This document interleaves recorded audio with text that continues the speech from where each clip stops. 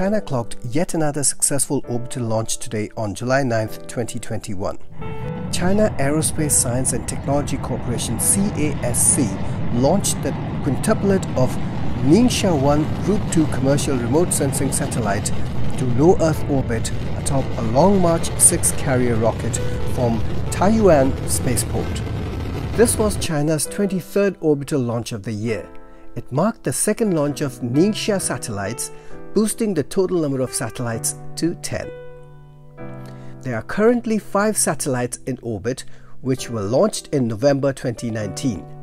The constellation is used for monitoring radio frequency spectrums, monitoring traffic, and for signal intelligence.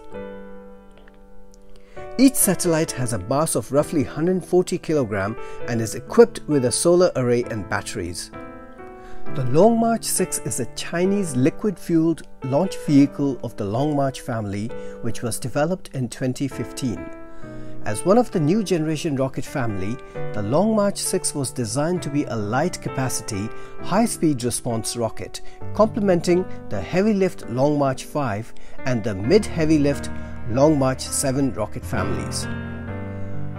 The vehicle is 29.3 meter tall and 3.35 meter wide and is capable of placing at least 1000 kilograms of payload into a 770 kilometer sun synchronous orbit.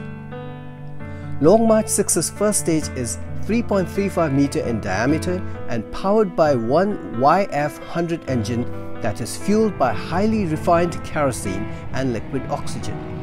The China Aerospace Science and Technology Corporation is the main contractor for the Chinese space program.